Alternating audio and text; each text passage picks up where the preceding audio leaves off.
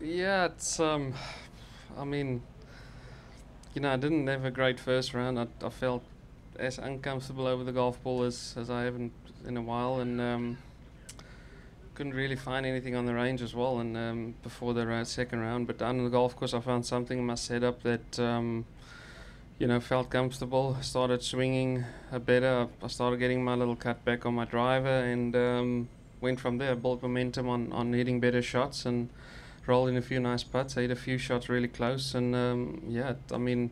I was building nicely momentum. Then I had a horrible four putt on 17 um, for bogey, which which sort of just put all the brakes on, and um, and then a bogey on one, and uh, and you know going down, um, you know back to five over. But uh, the last seven holes, I think, went five under, and just had good stretches of of uh, good putts, solid shots, and giving myself opportunities.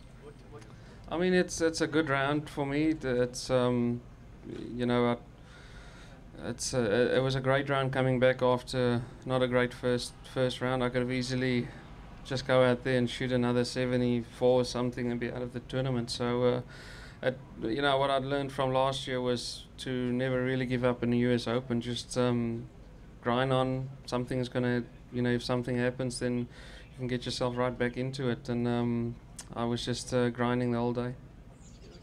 I mean, it's a good position, four behind. Um, going into any US Open third round is, is, a, is a good place.